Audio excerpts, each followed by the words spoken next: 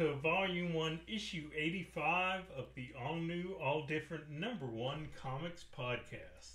You know, Bob, I said it. I'm sure I said it with issue 50, with issue 75. 85's a milestone too, even though, you know, it's it's 10 after 75. Whatever. I Uh, was going to say, I mean, 15 more episodes. right? 15 more to go. And I think it's pretty topical too because this week Marvel put out that 85th anniversary special. Look, and this is dropping on the 85th anniversary special of Marvel Comics. So We did not do that on purpose. I, I, I kid you not. We did not do that on purpose. are you sure? Because I feel like some kind of planning I went mean, into this. I mean- subconsciously, maybe, but that's that's just too perfect to plan out. It's true. It's true. Uh, the gods are on your side, I guess, Bob. So that's all I can say.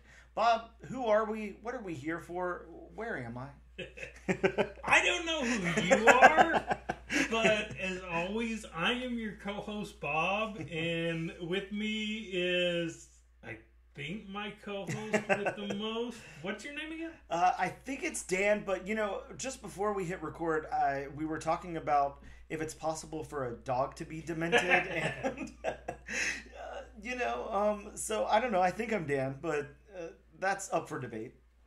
I mean, de- depending on who you ask in the specific day. Mm-hmm, I mean, I'm called everything. So, I mean, it could be Bob today. it could be something tomorrow. Mm-hmm, You know, somebody else could come up to me. You know, call me something different. You know, it is funny for the name Robert or, or whatever. There's so many different variations of that. There's so many different things you can say, and yeah, I, I think at this point you've probably heard them all, Bob. Oh yeah. Well, I mean, just just look how long the name Robert has been around and how popular it is. Mm-hmm, Sure, sure. I mean, just at my previous em- employment alone, at one time there were four Roberts working in the store. Ah, well, either way. But uh, like this in each other week, you know, we cover a brand new number one issue that is hopefully coming out this week. We give it a deep dive review, story beats, the narrative, the art, whatever else we feel like. So, what are we covering today? Bob, I'm very, very excited to announce that from Image Comics, in association with Skybound Entertainment, we have the next chapter in the Universal Monsters line of comics Universal Monsters Frankenstein.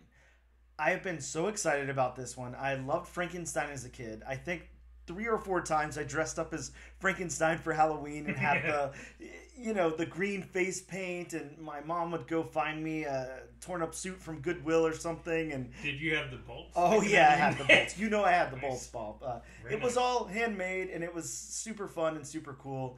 I'm very excited to cover this Frankenstein book. Bob, I can't wait. Hopefully, it's better than Dracula.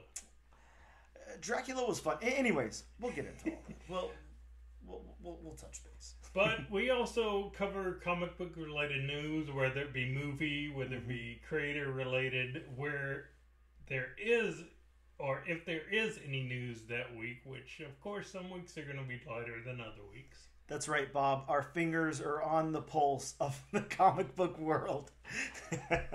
and I don't know, it's alive. Ooh, is that topical? it's alive! Hey. but with all that being said, uh, we'll see you in a minute.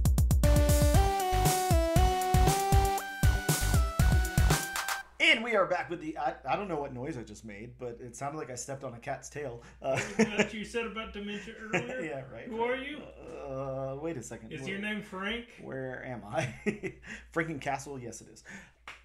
We are back with episode issue number 85 the all new, all different number one comics podcast. Here to talk to you all about comic book news. Bob, it's a light week. I'm gonna I'm gonna just start with saying, you know, the most important news of the week. Jeff the Land Shark is getting a one shot in the Venom War storyline, and I saw that. Jeff the Land Shark is getting its own symbiote. So, wow, that's exciting. I can't wait. I'm almost. I, I'm hoping that this like really takes hold. You know, like a secondary character, like uh, I, I don't know, like a like a Spider Gwen or a uh, something of that nature. A, a Laura Kinney. You know, get uh, venomized Jeff the Land Shark into comics. Like, get him out there. Like, let's do it. Make it a regular part. Like, I want to see an updated Marvel poster with a venomized Jeff the Land Shark on it. So, can we please work on that, Marvel? Thank you. Speaking of Marvel, Bob, Ultron is returning. Yeah, I heard. Oh my God! It's about time. right? So, in this Vision Disney Plus series that is still happening, yeah. uh, which is pretty surprising to tell you the truth, with all the stuff that was up on their slate that's been taken off and, and all of that, we're still getting a Vision Disney Plus series. James Spader's going to return and return as Ultron. So pretty crazy, pretty yeah, I, exciting I'm, news. I'm excited to hear. I thought James Spader did a great job voicing Ultron. Yeah, he was he was perfect. I can't think of it. I mean, I'm sure somebody else could have done it, but he was he, he did it perfect. I really well, yeah, liked but his I mean, there there are those actors out there who just have specific voices. Mhm, you know, mhm. I mean, you have uh, Tony Todd. oh yeah, Tony Todd is definitely wow. Yeah. Yeah, Tony Tony Todd might have the most recognizable voice of all time. Mm-hmm, mm-hmm. Man, uh, you know it's it's impossible for me not to jump on a soapbox and start talking when somebody mentions Tony Todd. Uh, you know, and this isn't news related or comic book related, although there are, there are two comic books. But uh, Final Destination, man, just my guiltiest pleasure movie franchise of all time. I He love it so much. Creepy. He honestly made it for me because while I love Final Destination and I love all the crazy deaths and and death's design and all of that weird stuff that's going on in Final Destination, like he's just like the only thing that ties it all in. And they did that one movie, and I can't think of which one it was, but they did one without him, and it was just it was like missing so much. It was like Oh, I bet. yeah, what, what are you doing? I had proposed this to um, a coworker just a little while ago who really enjoys horror movies, and we were talking about horror, and I was like, you know what?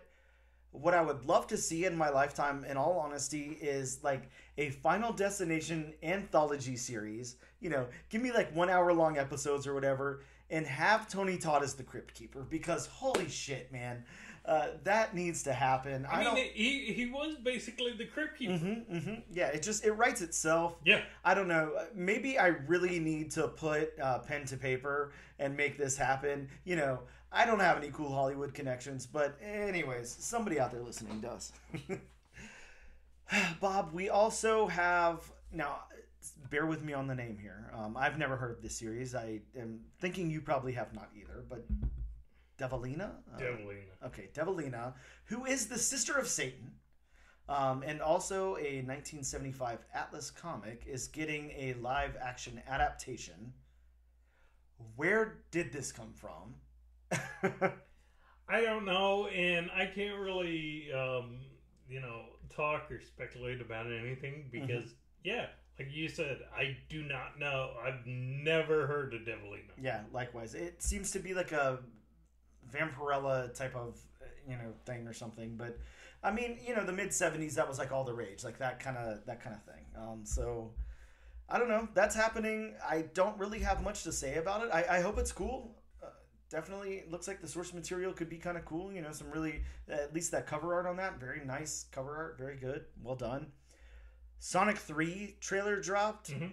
I haven't watched it. have you? You know, honestly, I haven't even seen the first two films. Yeah, I'm, I'm with you. I haven't seen Sonic. I'm not No. that invested for for whatever reason. It's not. I have no problems with it, but it's just not like a big thing for me.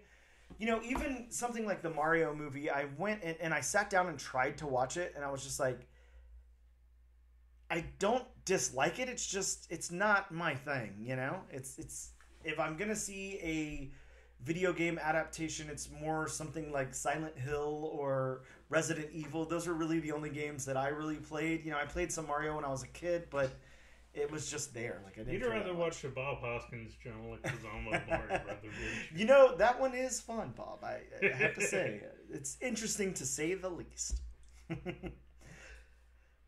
Bob, uh, speaking of interesting, maybe, maybe not. Um, the Crow 2024, you know, dropped a, a week or two ago.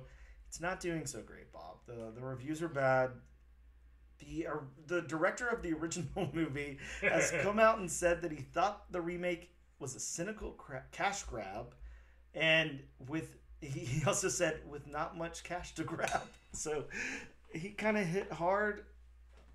I don't know. It's it's super interesting because I'm gonna say what I think a lot of people have already said. The only thing interesting about the original Crow movie is the Brandon Lee aspect of it. It wasn't like the greatest script. It's pretty generic, you know, archetypal superhero stuff, hero stuff, whatever.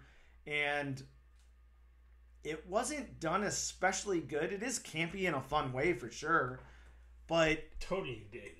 Yeah, very very dated, very '90s. You know, fit into the whole like grunge aesthetic and grunge grunge scene and all of that, which was cool for its time. hmm But it's a product of its time. I don't think that anyone's ever you know looking at it as this is one of the greatest films ever made. This is the greatest screenplay. This is acted wonderfully. Any of that. Uh, but it's got you know it's it's cult status because of what it is, and then because of Brandon Lee and everything. Um, now I haven't heard James O'Barr come out and say anything. Uh, Bob James O'Barr is still alive, right? I, I believe so. Yeah. Yeah. Okay. So James O'Barr, of course, the creator of The Crow, uh, and uh, you know when I heard some backstory of, of why James O'Barr came out with The Crow and all of that, it's, it's, it's pretty sad. He um, lost his wife or fiance to like a drunk driver, and um, just really couldn't cope with the grief, and ended up writing The Crow for for that reason and everything. And uh, yeah, just a, a really sad story behind it. And then of course, you know, I guess uh, the guy thinks, all right, great. You know, I wrote this story in tribute to my wife, and now you know I'm cashing a check for you know from the studio. They're they're gonna make a big budget movie out of it and put Bruce Lee's son in it and everything. And then of course he dies on set. You know, so just not great luck. You know, surrounding this thing, and then and then this movie not doing so well. So I I don't know. It, when the first uh, images and, and trailers and everything came out, Yeah. I mean, I'm not gonna lie, I didn't have high hope for it at all. It looked a little cringy, a little Jared Leto jokery, and I mean, I guess that's what people are seeing. So So speak uh, before you go any further. Mm-hmm. Um, speak, speaking of movies based off adaptations, have you heard about the Borderlands movie? yes, hmm hmm That in the next couple of days it'll already be on video on demand yeah. this- after not even a month of release. yeah, this is getting horrible reviews. Ooh, horrible, wow. horrible reviews. So I don't have any connection to Borderlands. I've never played a game or anything like that, so I'm not sure. But I don't either, but I mean, if after a month it's Oh, already yeah. starting to go on video on demand, not a great look. No, and I mean the film. The film was, you know, marketed pretty well. You know, I can't say it was all over the place, but Mm-hmm. Yeah. I mean, I, and I'm pretty sure it was a big budget movie. I don't I don't know the you know exactly how how much they spent on it, but well, I mean they they spent a good amount of money just for the cast alone. Mhm, I mean, Jack Black did a voice. Uh, you know, um, Kate I- Blanchett was in there. yeah, Cate Blanchett, Kevin Hart, Yep. directed by Eli Roth. So Yep. yeah, I mean I yeah I would I would love to see the budget on this thing. Um, very very interesting. Yeah, I mean I'm, I'm just trying to browse through here to see if I could if I could grab a budget for it, but Mhm. it's not it's not something that is like super readily available without you know doing a deeper dive. So I'm not gonna waste anybody's time. But um, yeah, it looks like it had grossed a total of 25.1 million. Um, that's that's not good. No. And one of the biggest things I'm good. hearing is it tried to follow, you know, that whole Guardians of the Galaxy, Mhm, James mhm. Gunn kind of thing. oh yeah. And either, you know, which, I mean, that whole thing is kind of played out. Because, I mean, when Guardians came out, you know, it seemed like everybody was trying to copy it. Yes. Uh huh. But, I mean, it, it just. It just sounds like it fell flat. I mean, uh, will I give it a shot eventually? Yes. I mean, because you know, I do believe you shouldn't really listen to critics and reviews. You know, Sure. you should watch something Yeah. and make up your own mind. Absolutely. You know? Of course, that's why we always poo poo on Rotten Tomatoes. Mm-hmm, mm-hmm. But I mean, this movie, I'm just hearing universal hate. Yeah, and I, I did circle back around and do my little bit of research there. Uh, it's estimated 115 million dollar budget Ooh, with wow. 25.1 is the, uh, the the takeaway. So that's that's bad. That's So probably probably when it's all said and done, it'll probably be at least a hundred million dollar loss. Oh yeah, oh yeah, for sure. Yeah, sad, sad, uh, sad series of events there. Um, Bob, in other news, and, and most of these are just series announcements, so you know I'll I'll just rattle these off really quick, and then if you have anything, um, uh, Psylocke is getting her own series by Alyssa Wong. I think some of a lot of this is probably already known, but you know it's it's like public now and previews and everything. So I just wanted to showcase these. Uh, West Coast Avengers uh, with Ultron as the big bad uh, by Gerry Duggan is, is going to be dropping. Mhm. Uh, here's one that I'm really excited about. Bob, were you a fan? Did you watch um, season two of What If, the Disney Plus animated series? I did. Okay, so you're familiar with the uh, Kahori, Kahori. episode. Mhm. Is that how you pronounce that character's name? Kahori. Okay. Man, that was that was the standout for me. In all honesty, that was like really the only episode where I, I was glued to my yeah, I mean, you know, she was TV. probably she was probably the best part, yeah or at yeah. least the best character in uh, season two. Yeah, that was good. That was really good. The episode was really well well done. Um, so she is getting a one shot, and you know, again, like like I was joking around about the sym- symbiote uh, Jeff the Land Shark. I really hope that this sticks. I hope that the character is introduced in the six one six proper and gets some, uh, you know, more attention and everything because that episode was so good. Such a great character with a cool backstory and everything. So. Mhm. Um, really excited for that. Bob, what if Minnie Mouse became Captain Marvel? What would you do? Because Marvel's going to answer that question.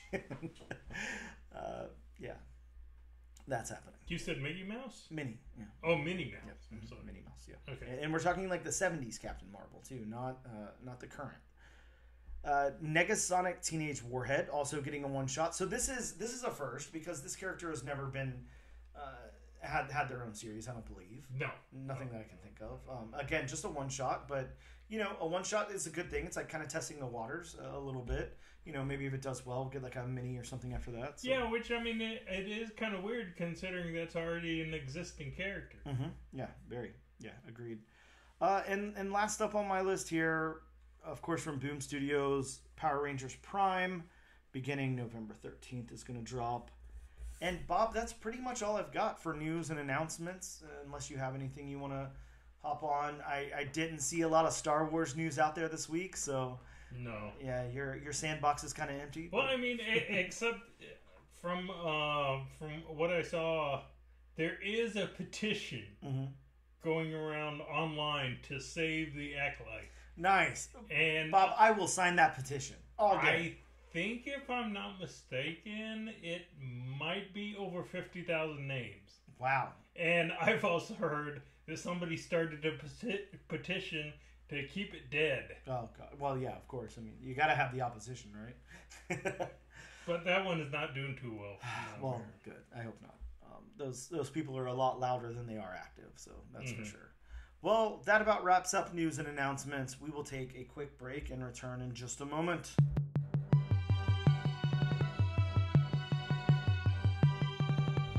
Hello and welcome back to the all new, all different number one comics podcast, issue number 85, milestone issue.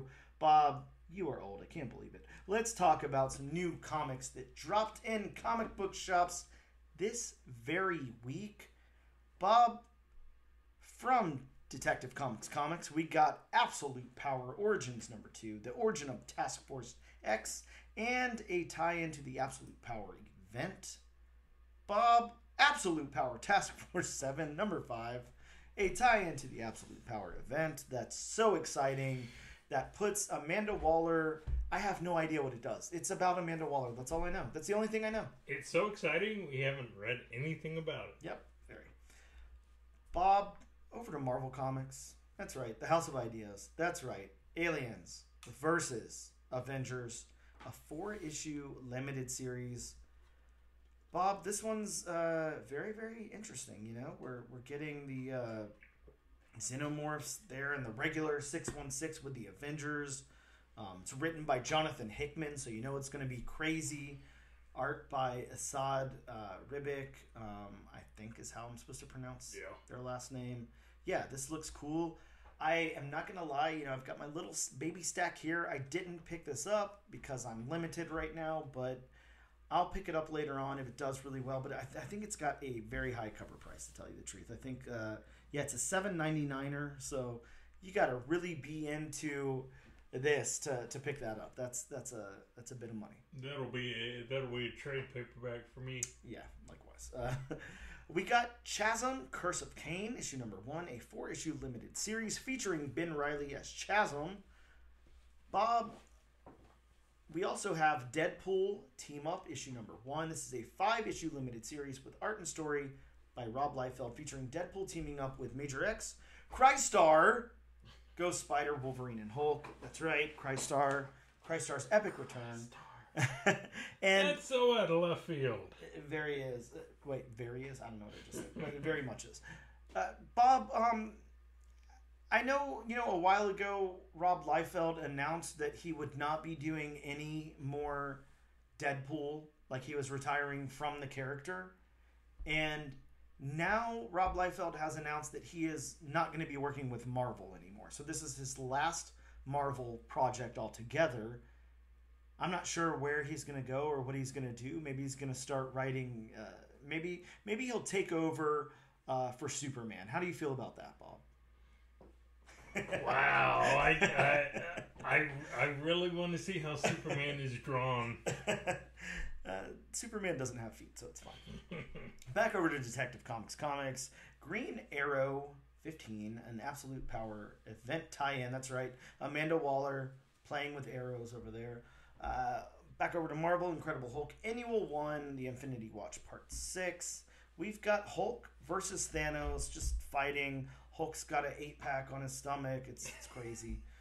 The aforementioned Marvel 85th anniversary special, an anthology of stories told in the far future of the 85th century about Marvel heroes from the past.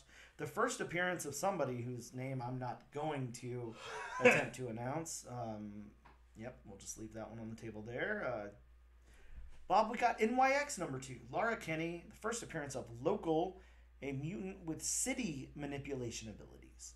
So City Boy came over to Marvel. Yep, I guess so. Wow. right? Bob, the new uh, Moon Knight series, Phases of the Moon Knight, issue number one, the first appearance of Moon Knight and the uh, sorry, Moon Knight of the Old Crusades, as well as the origin of the Shroud as Moon Knight. One of the be- one of the best titles of all time. Oh yeah, Phases of the Moon Knight, such a cool, cool title. Bob, I'm not gonna lie, I did pick up my copy of Sesame Street number one from Ani Press. Uh, it's right here, you know, Sesame Street number one. Grover lends a hand. Don't ask Oh. me why. It's by Joey Esposito. Um, I read through it. I didn't quite get to the end yet because it's awfully wordy for a Sesame Street book. but it's kind of fun. It shows each one of the characters. You know, like uh, whatever this dude's name is. What's what's the guy? Is it Grover? Um, he's he's going through town. He's running into everybody. The the counts counting leaves on a tree. Big Bird's trying to put together a, a drawer or something. And it's it's it's very interesting. Um, very. I don't know. It was kind of cool. I actually kind of thought it was cool. Like I said, I haven't finished it yet, so I don't know what happens in the end. So nobody spoil it for me. But um, yeah, that exists. Somebody lends Grover a hand. they do. How about uh, Peach Momoko is back? Ultimate X Men 6, the first cameo appearance of a potential member of the Ultimate X Men. Bob, I just want to, again, this is going to be off air. You guys are going to be able to see this. Look at this variant cover. Like, that is a nice cover. Very nice. I don't know who this is by, but I love it. It's a really good variant cover. Very yeah, I had to pick that one up, it- which is crazy because Peach Momoko's art on the series is so good and her covers are really good. And whoever did that cover, I just I, I had to pick it up because it was it was really really cool. Um, I you know I'm gonna stall for like one second here because yeah, it looks like it's Stephanie Hans, so that tracks. Yeah, uh, really really cool. Uh, Bob, we got Venom War Zombiotes, issue number one, a three issue event tie in with just a, a crazy, crazy cover on that.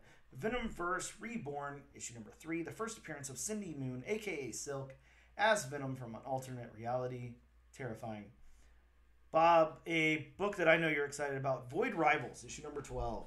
I, I love when Void Rivals comes out. I mean, the whole Energon universe so Mhm, far. mhm.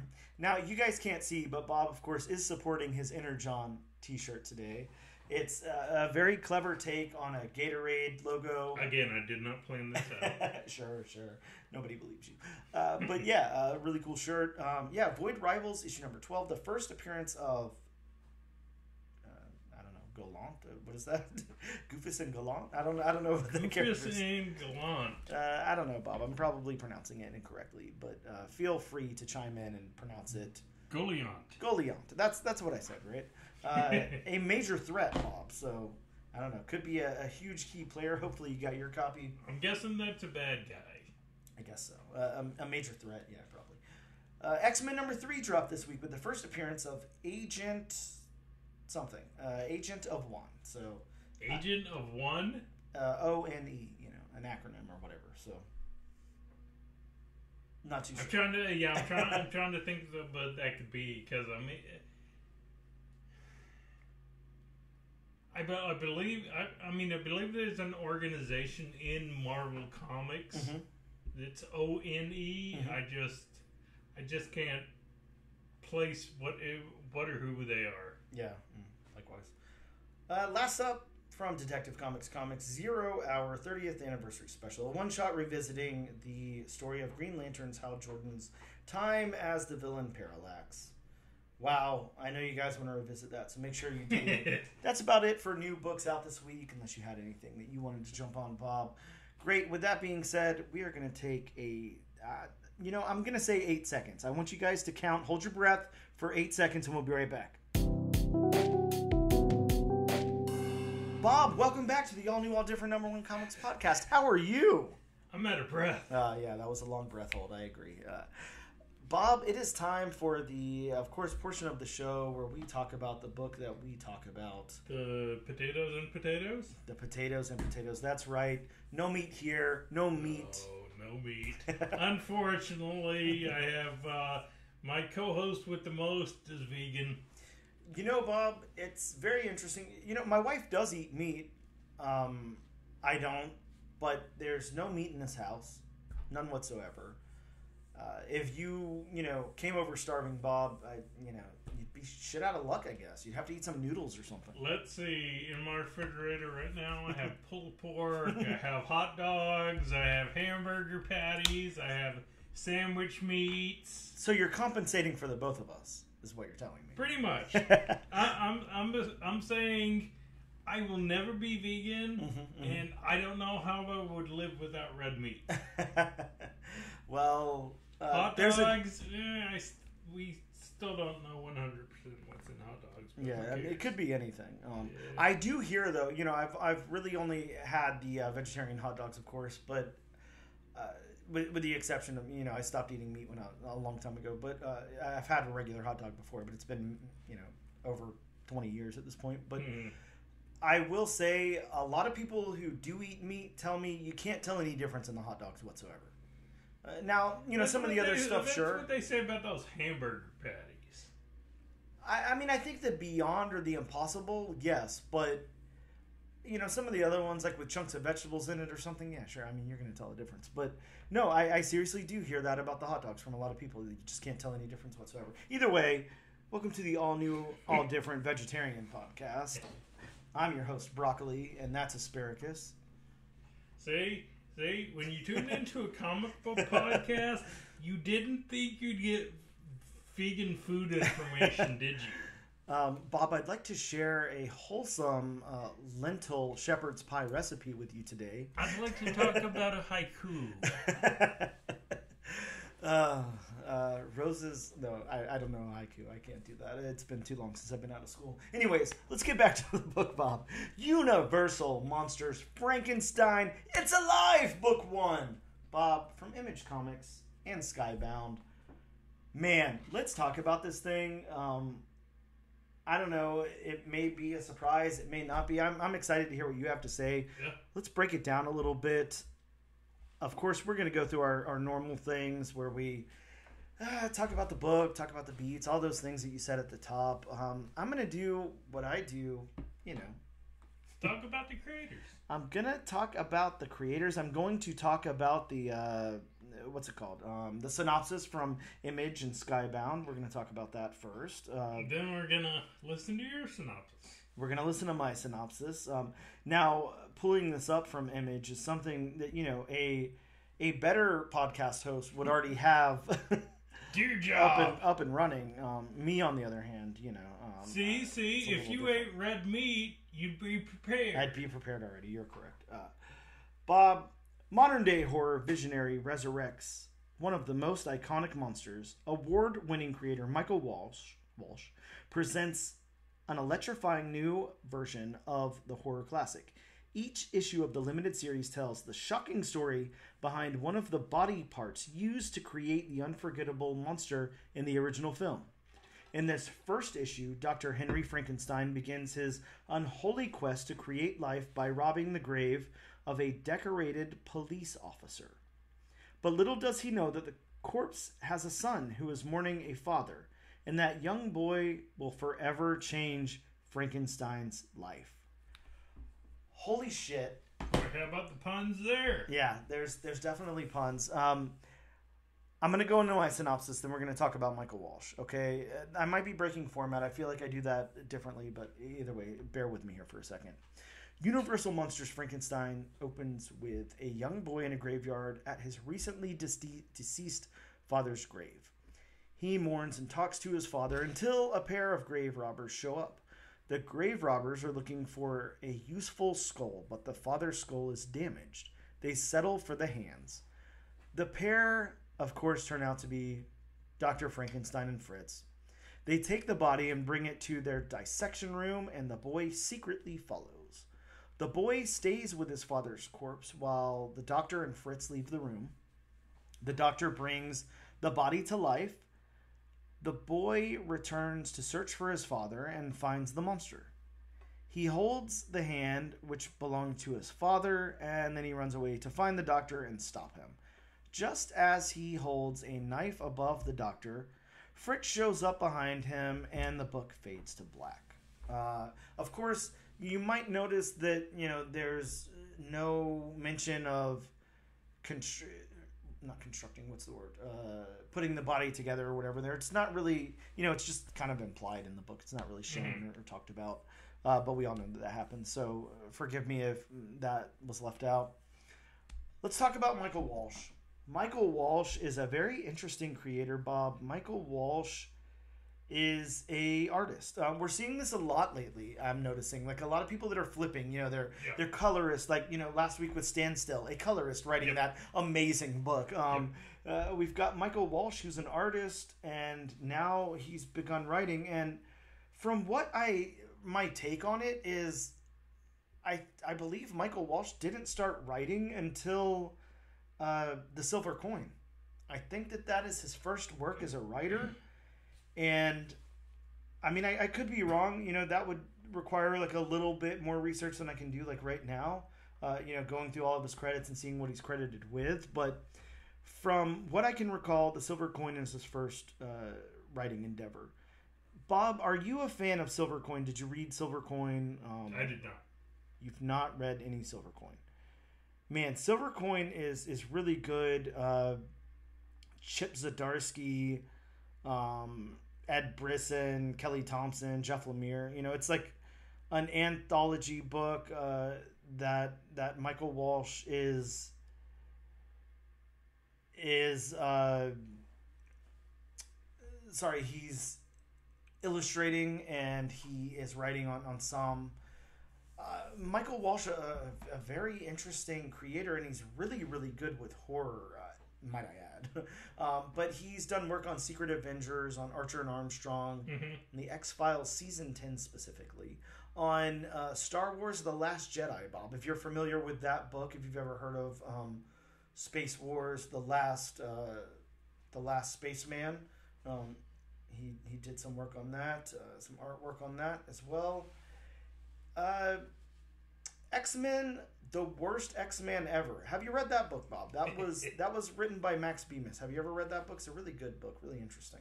No, but I need to. Yeah, that's that's a really good book. I think it's like a five issue mini. It's really cool. Um, Jughead the Hunger, We Can Never Go Home, Star Wars proper, Doctor Strange, The Punisher, Magic Bullets, Six Million Dollar Man, Carnage, The Black Hood, Bucky Barnes, The Winter Soldier, The Vision, The Brother James, Creep Show, Mighty Morphin Power Rangers, Spider Gwen, Harbinger.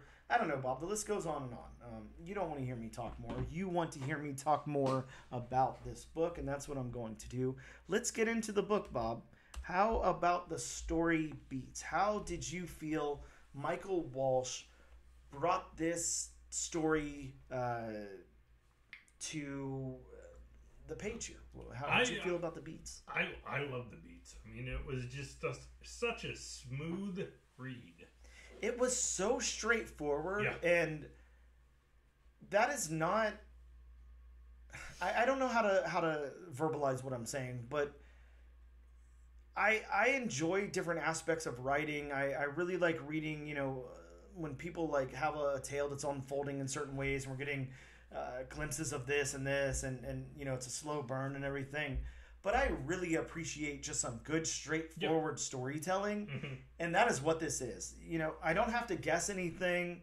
It's all right there on Front Street, and it's written so well. And Michael Walsh does one of the things that is my favorite thing in the entire world. And every time a writer does it, I I talk about it. He is just really trusting, you know, that the story is going to tell the art here. Um, of course, you know, it might be a little different because Michael Walsh is writing and illustrating this book, so he trusts himself. But I mean, hell, like it, it just, it's so good. Uh, it, yeah, this is the story beats are very, very good here. This is a, this is told wonderfully. I yeah, I there's I, honestly can't com- I can't find anything to complain about with the story beats at all. Not one thing. It's very good.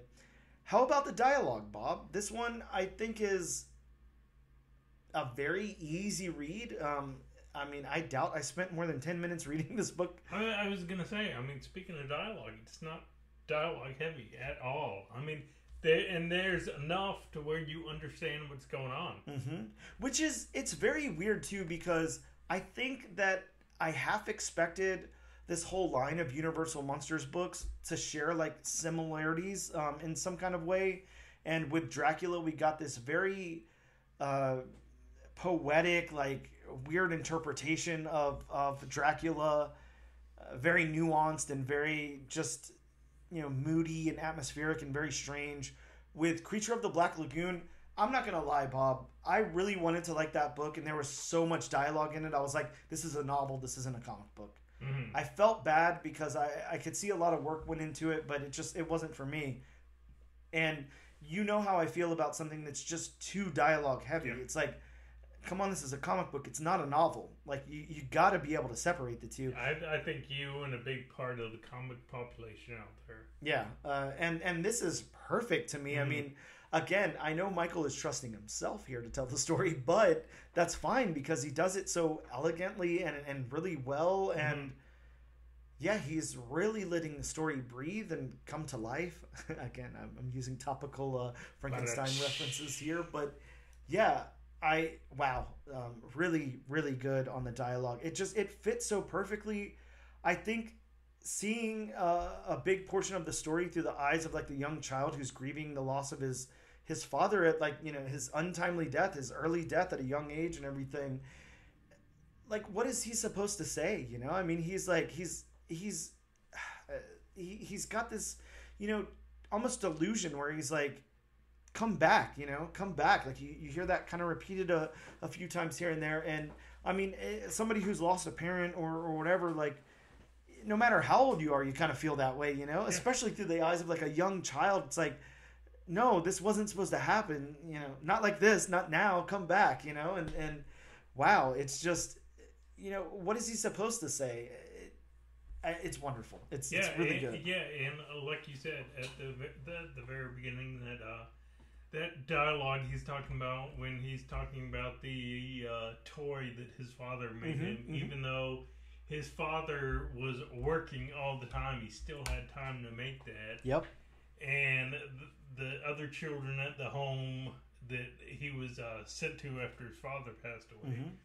you know, I guess they broke said toy, and he's saying, you know, you're the only one who knows who knew how to put it together, Uh-huh. and you know, why did you have to leave me? I'm sure there's a lot. I'm sure there's a lot of, you know, especially children of that age who lose a parent. Parent, I'm sure there's a lot of them like you know, why did you leave me? Yep. And you know, only you could do this, knew how to do this. So, I mean, the dialogue was perfect. Yeah, it, it really was. This is wow. Um, the narrative of this book, again, eight plus plus, man. Like it doesn't get much better than this, in my opinion. Like it's just it's so straightforward and and to take the approach that Michael Walsh took with this book, which is you know it's illustrated in the synopsis there, and we've talked about it before, and we talked about it last week and everything he's looking at this as as a story told from each body part you know not each body part like you know but you know four different Yeah. body parts or whatever Yeah. four important parts of of this story and this one being the hands and and through this young child's eyes and everything god like the narrative of this is just so good because it's this kid and he's he's he doesn't want to leave the monster behind because there's a part of his father there and and he wants to take some kind of revenge or, or whatever. I, this is just the narrative is perfect. See, and like, and you pointed this out earlier, Mhm. and this is something narratively that uh, my, that uh, Michael did that I'm glad he did. Um, we all know the story of Frankenstein. by Yep. now. I mean, Frankenstein has, of course, you know, originally written by Mary Shelley. Mm-hmm. Um, I'm not exactly. Sh- I can't remember exactly when she wrote it, but I do know that everybody, everybody and their mother knows. You know, Frankenstein is Mhm. you know an old work. You know, everybody knows. Uh, 1818. Bob, 1818. was written. everybody knows the story of the uh, scientist and his right hand man. Mhm. Um, you know, dig up different bodies. You know, he takes different part, part body parts, stitches them together. So Mhm. everybody knows that. I'm glad that we didn't have to go through the whole, like you said, the whole part of the hands being stitched together Yeah. Mm-hmm. you know just just because i think that would have slowed it down and again everybody knows the story by now Yeah, so- we don't need it. There's no. no, there's no. Need i mean everybody knows that that's what happens Mhm. so i mean everybody knows it's implied that it happens it's very interesting too that Michael was able to take something like Frankenstein, a very very interesting character, and obviously you know the the focal point in the story and everything, and and make us more intrigued by what's going on with the little boy with a Frankenstein, with the monster of Frankenstein in the background, and the creation of Frankenstein, and all of this exciting stuff going on. yeah that's uh, to me to me that was i mean i was reading that, and i mean that was just it was just a powerful image where he thinks frankenstein is going to attack him and then he's holding his father's hand Yep. Mm-hmm, You know, I mean, even though it's it, of course, it's not his you know father, it's not his father's body, Mhm. but I mean, he's still holding the last remaining part of his father in Yep. his hand. Yeah, it, it's. I mean, it's so odd to say, but I mean, yeah, this is really powerful stuff. This is really good. I mean, I just it uh, to take something like a comic book and you know as a medium to take something like the story of the monster of Frankenstein, you know, a, a classic horror and and all of that stuff, and and make it so personal, you know, about this little boy who's grieving his father and, and trying to to come to terms with that in some kind of way or whatever. And and this is going on and everything. Just wow, uh, really powerful stuff. I, I yeah, I can't imagine how Michael Walsh came up with this idea and then executed this in in, in story. But wow, it's really good. Uh, the world building, fantastic. You know, the world building is really really good and. You know, we don't we don't move through this world a lot. You know, we're in a graveyard. We're in the kind of the lab. Uh, that's that's really it. That's pretty much where the story is. And uh, man, yeah, I, I felt like you know this this fits in perfectly. If you've ever seen or read Frankenstein, you know any of that stuff. If you're familiar with Frankenstein, I mean, it's like you can just imagine putting this in the background. You know, like Mhm. this is just something that got overlooked in the story. Like you know, and it was happening all along. Like I, I would I would believe that. You know, it fits so perfectly into the story of Frankenstein. Uh, man, yeah, I, I love the world building here. Bob, do you have anything you want to add to that? Um, No, I mean he he captured the world of done Mhm. perfectly. Yeah, so I'm, I'm going to say this, you know, and I'm going to go out on a limb here. At least I'll, I'll speak for myself. I won't speak for you. But at least story wise, you know, I, I honestly can't find a single thing that I didn't like here. This is this is top tier uh, comic book writing, you know, at its finest. This is really really good, and that's really exciting to hear because I mean, again, just think of, of the material that we're talking about here. We're talking about Frankenstein. We're talking about something that everybody knows, you know, something that everybody's experienced in some way or another. Some most people have like, you know, I talked about uh, dressing up like Frankenstein, you know, many times at Halloween as a kid Yep. and stuff. And uh, you know, this is this is something that everybody knows, and it's it's like a, you know, or origin or something, you know, of Spider-Man or Batman coming out right now and, and being like, wow, this is this is perfect, you know it's just it, that's really hard to do it's just been done so many times how do you get a different perspective get a different you know take on this and Yeah. and michael walsh really knocked the storytelling out of the park here really let's see if he can do the same thing with the art bob i want you to lead with the character art here because i i just do Well, I mean, uh, character art and overall art. I Mhm. mean, I love for this tone of the book. I and what it was. I love the art stuff. I mean, he gave the characters, you know, that, you know, kind of, um, you know, older, like eighteen hundreds, kind of, mm-hmm. you know, look. And I mean, just yeah. I mean, overall, I mean, just uh, he he gave it that you know, darker. He gave everything that darker atmospheric tone. And uh, yeah, I know I'm lumping all the art here together, but you know, I in a book in a book like this, you have to. Yeah, it's oh, okay. I'm gonna say this. Yeah, the character art, I loved it. I'm already a huge fan of Michael Walsh's art on the Silver Coin, on on Michael Walsh's art on you know pretty much everything that I can think of.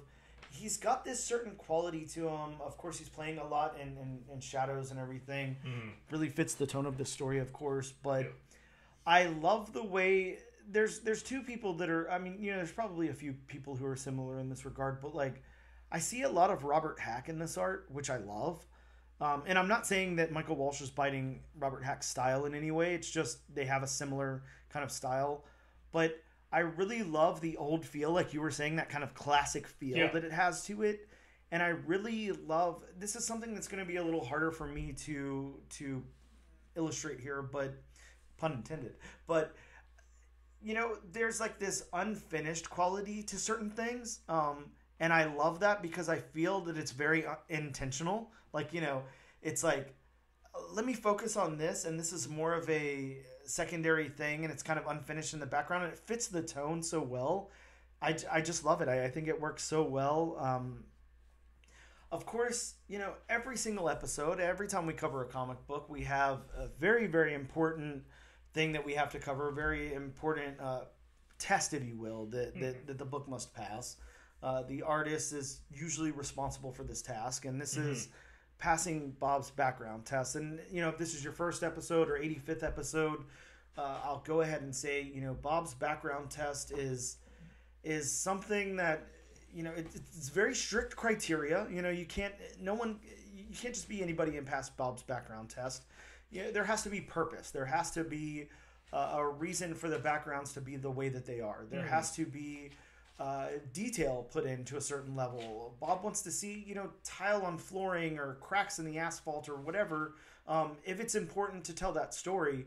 So while it's not like a one size fits all uh, background test, it's definitely something that's very, very important to Bob and very important to me and very important to you as our listeners. Uh, so, Bob, of course, you know, I'm going to ask the uh, age old question Does Michael Walsh pass your background test in this issue? See, and I sh- I should uh, you know I've said this before. The backgrounds have to match the book, Mm-hmm. Definitely. and oh boy, do these backgrounds definitely match this book. Yeah. Wow. I mean, I'm uh, it's it's and it doesn't need to be because of the book it is, Mhm. but you know these backgrounds, of course, aren't you know like you know, you can't see, you don't see like each individual like strand of hair or Mhm. each individual, you know, brick or anything. But in a horror in a, a horror book, Mhm. you don't need to. Yeah. And I mean, he he does the art perfect in this book. Yeah, and one thing that I want to point out, you had it open to a, a couple of pages with some panels uh, that that I think really stuck to me. Um, was you know we have uh, a few panels in this book that are just you know the background is solid white. There's nothing in the background whatsoever, and I think that they're very purposeful and they really illustrate what's going on, like the hand holding scenes. You know, um, the little boy reaching out for his father's hand and everything. I don't want to see the bricks in the wall behind that. I want to see that hand, and that is Yeah. it. Like I want to see those two hands, you know, touching or or pulling away or whatever. Same thing with the the shadowy scenes that we get of the boy grabbing the knife. I don't want to see anything else because in that boy's mind, in those scenes, the only thing that matters is that little piece of his father that he still got, or that little bit of I'm gonna do something about this that the boy has. You know, it, it's the focus there, and you know maybe a lesser artist would uh, do something more with the backgrounds in those scenes, and and I it doesn't need it. yeah, I mean, one of my one of my favorite panels in this book is just it's a white background, and all you see is the shadow of the boy holding Frankenstein's hand, Mhm, mhm. holding his father's hand. Yeah, that's such a good And panel. I'm so glad that he didn't put in any background detail to Mm-hmm. take away from that image. Yeah, I'm with you. It's just uh, yeah, it's it's almost just a white background with silhouettes, you know, and that's it. Uh, yeah, really, really nicely done. Uh, I don't know, Bob. We're we're batting pretty high right now. We've Yep. got you know two more things to cover. Uh, let's see if we can take it down a notch. I don't know. How about the locations?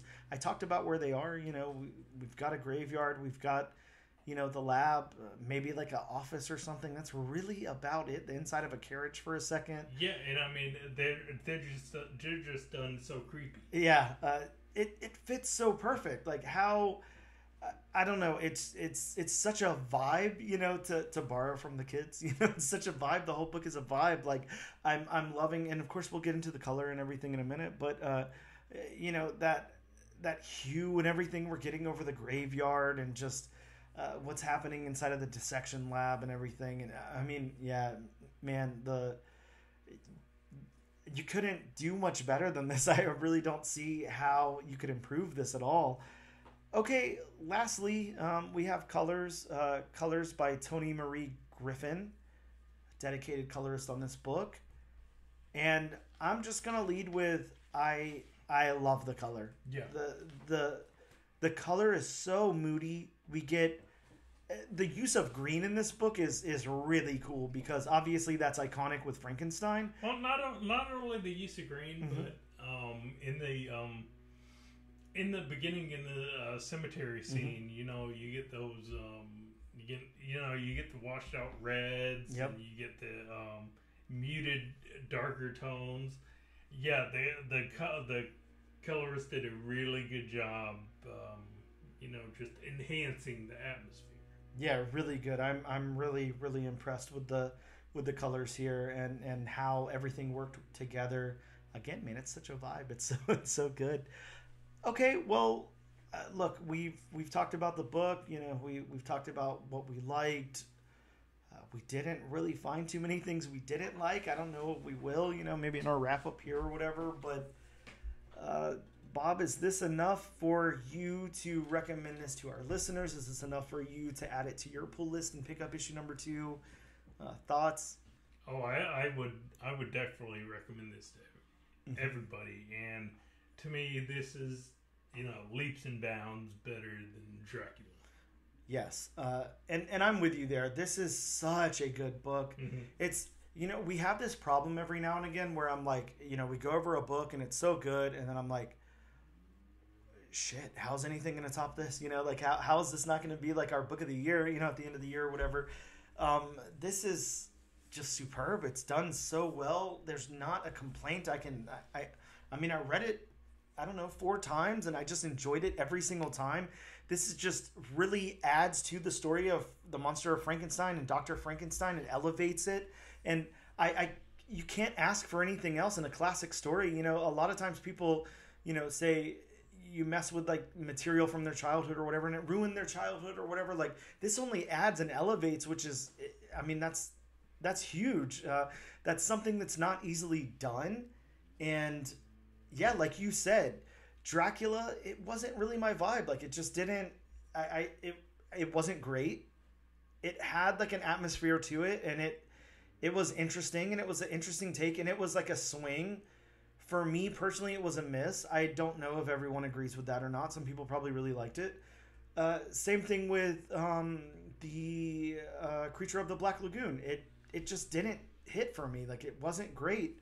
Mm-hmm. Uh, for me, this is the first home run in the Universal Monsters stuff uh, from from Image and Skybound, and anybody who has to contend with this, um, you're really really going to have to pull out all the stops to to top this. This is I I just don't see how you could do better than this. This is this takes the impossible task of taking something we're all very very familiar with, a lot of people really really love and and everybody knows and elevating that and I just don't see very many people doing that. So huge huge kudos to Michael Walsh and uh, Toni Marie Griffin like you guys have done the impossible here and I cannot wait to read more of this series. This is a huge recommend. Add to your pull list. Shit, add every cover, you know? Whatever. Call your local comic book shop right now and make sure you get issue number two uh, through four or whenever the end is, is all I can say. Hmm. With that being said, we will take a quick break and we'll return in just a moment.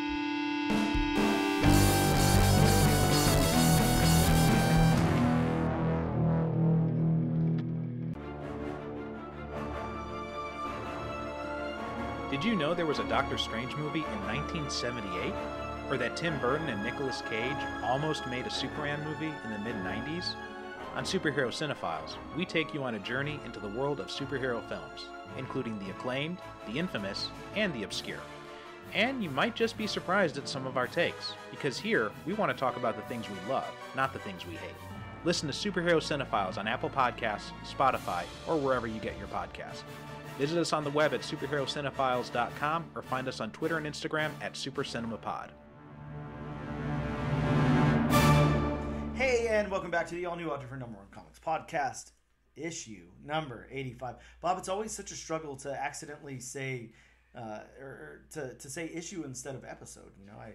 I, I think I earlier you said both. Uh, yeah, I'm sure I did.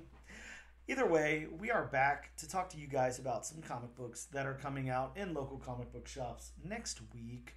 Of course, before we do so, you know, we always have a little uh, special service announcement that we have to make, or rather, Bob has to make. Um, it's very important that you guys know, you know, sometimes uh, the comic book shops don't come to stores. And for that reason, it's disclaimer time. Welcome to disclaimer time grab your Energon shirts for disclaimer time with Bob. Like I say, this and every other week. Love the opening, by the way. like I say, this and every other week. You know, these are just some of the books that may or may not, mm-hmm, mm-hmm. because mm-hmm. of that, you know, reason distribution schedule mm-hmm. be coming out next week. So if you want a more in depth list, you know, please consult elsewhere. Mm-hmm. You can always call your local comic shop. You know, please and thank you go a long way. They definitely do. Manners, you know, they work kids. Yeah.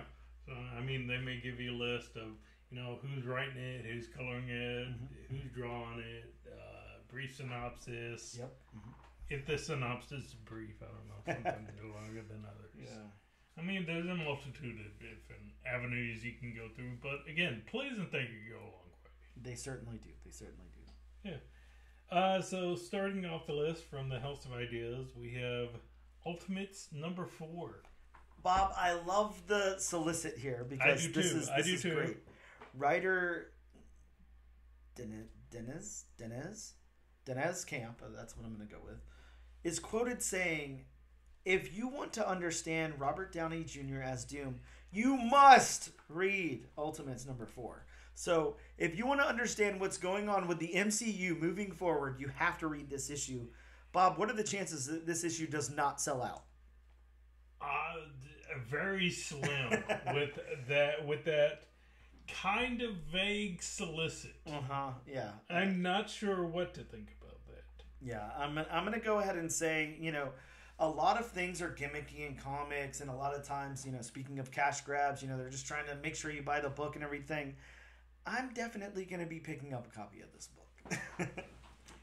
Going over to Detective Comics Comics, the Yes. very the redundant publisher. so nice, we named it twice. We have Trinity Special World's Finest Number One. Bob, this is a collection of backup stories featuring Trinity, the daughter of Wonder Woman. A collection of backup stories. Mm-hmm, Very interesting. And she's got cool glasses on the cover. You know, they're stars, so That is true. doesn't get much cooler than that. Sticking sticking with the redundant uh, comic publisher, we have Batman number one fifty two. Now, this is just a tie into Absolute Power, of course, so Amanda Waller's all over it. But I will say there's no chance in hell we haven't seen this cover before, Bob. Uh, at least the No, image of the bat and the cat we- kissing yeah. on the cover, like I, Oh, we've seen it. Yeah, we've seen, we've seen it many times. I, I mean, I, before. I feel like that's just the wedding special. You know, there was definitely a variant cover with that on it. There's no way there wasn't. yeah. Staying with DC, we have Absolute Power number three. Speaking of Absolute Power, Bob, part three of the Absolute Power crossover. The cover art is inspired by the Incredible Hulk 340. That's right, that cover swipe that everyone loves to do with uh, Hulk and Wolverine, with uh, Hulk reflected in Wolverine's claws. I mean, it's definitely not a bad cover swipe at all. no, this one's good. I like it. Uh, it's cool. Yeah. Uh, going back to the House of Ideas, we have Star Wars: The Acolyte Kelnacca number one. I'm so happy that the name was in the title, so you had to say it because, wow, I have to say that it's Kelnacca's first appearance, and I would not have been able to pronounce the name. So thank you so much for that. Uh, but yeah, speaking of the acolyte, you know, um, uh, you never know. I mean, the series could get revived, uh, the petition could work, and maybe this will be a very important character moving forward. I'd, I'd grab a copy of this. Yeah, I mean, it very well could be. Staying with the House of Ideas, we have Daredevil number 13. Bob, a dangerous and lethal new enemy wearing a familiar face has made itself known and violent force in the lives of the Daredevils. That is confusing. Th- There's two characters called Daredevil. Mm-hmm, there sure is. The woman without fear, the man without fear. They both have no fear. Yeah, well, you know, it's like a, a cool uh, ad for that 90s uh, t shirt company, No Fear. Daredevil No Fear crossover. right? Uh, we have the spectacular Spider-Man number seven. Man, this one has the first appearance of Knave. Knave. Knave. Described as a truly terrifying new addition to the Spider Rogues gallery. Yeah. Uh, staying with Marvel, we have Spider-Boy number 11. This one's cool. It's a new arc begins here with a new cast member, or sorry, new cast members and an all new supervillain. I love the cover because it's got uh, Spider Boy grabbing onto the outside of a school bus on that emergency door handle. Uh, you know, holding his little Spider Man lunchbox. Super, super fun. This You is know, just a fun series. Correct me if I'm wrong, but wasn't this supposed to be not a limited, but a uh, but a, a mini? I thought so. I think it's just doing that well. You know, it's I, I was I was gonna say because I mean a miniseries usually doesn't go to number eleven, does it? hmm And good for them, you know, because I remember Mhm. so many people, you know, hating on this when it first happened. You know, the introduction of Spider Boy. Do we really have to have This this, and is this? this yeah, we do. such a cool series. Yeah, uh, I mean, you know, I hope you guys have your foot in your mouth right now. Is all I can say. Yeah. We have Moon Knight, the Infinity Watch annual number one. Yes, Moon Knight's getting a um, Infinity Watch tie-in. Yep, part seven to the Infinity Watch. Check it out. Is he fighting Power Girl on the cover?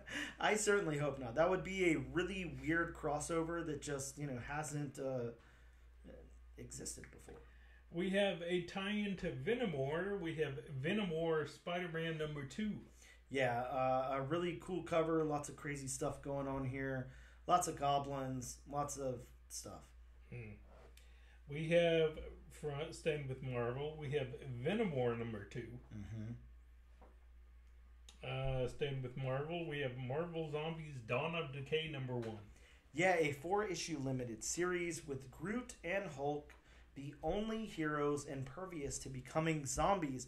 Bob, that's a pretty cool concept, you know? They can't become zombies. You've got uh, Iron Man, you've got Scarlet Witch, you've got Captain America, they're on the cover, all zombified, and they're, uh, you know, grabbing at Groot and everything, but he can't become a zombie. So what are they? What are they gonna do to him? I was gonna say he's made of wood. Yeah, zombie wood. I mean, I guess it works. Wood zombies. I don't know.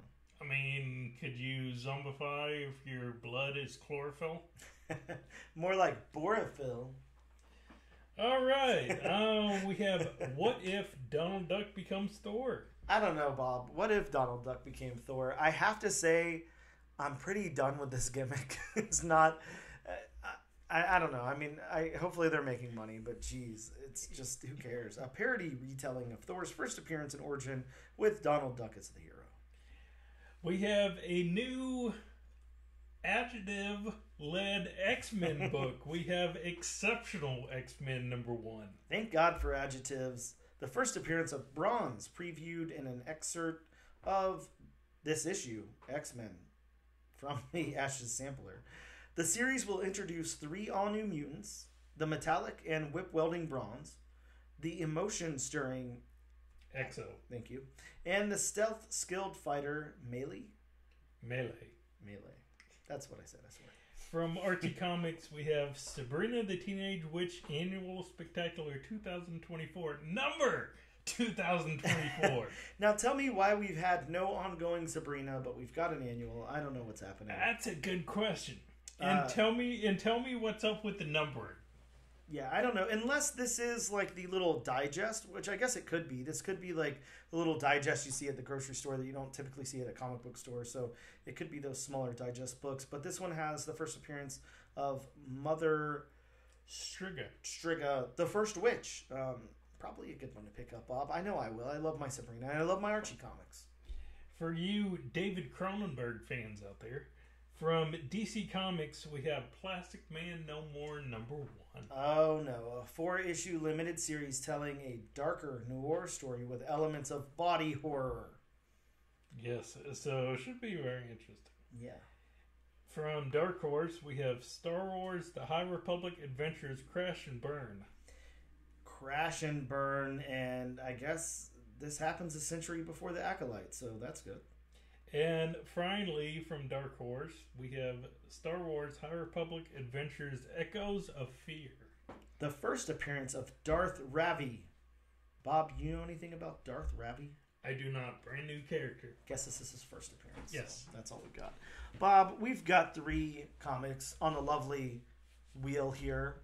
Not sponsored by, but listed on What are you doing. Will Names? I don't know. You know, I kind of feel like maybe this is what happened. You know, 15, 20 years ago, Wheel of Names registered the name. They paid in advance for the domain and just, you know, it keeps coming off of their credit card every year. But the uh, the founders of the website have moved on and live in a cave somewhere. So that's all I can think because, you know, there's no way they're not listening. Bob, time to spin the wheel, see where it lands. It could either be an X Men week, it could be a Rafael Albuquerque week, or it could be a broken internet week. But it looks like we will be hanging with Scott Snyder and Rafael Albuquerque for Duck and Cover number one next week. Very cool. Very excited. Again, we talked off air. Uh, Rafael Albuquerque talked to us about this book way back when we talked to him, whenever the hell that was. So, really excited to have that uh, on the show. I'm excited to check that one out and talk about it. I think that about wraps us up, though, Bob. Uh, unless you have anything else you want to say, we are the All New, All Different Number One Comics podcast. Um, with great power comes great responsibility. It sure as hell does. Uh, and, you know, for your responsibility this week, I don't know, use our hashtag all new, all different nation. Uh, you can try to win a free copy of this Universal Monsters Frankenstein, but I really don't want to give it up. So uh, you're going to have to try really hard if you want a copy of this one. Is all I can say. Postage paid by Bob. We'll see you guys next time.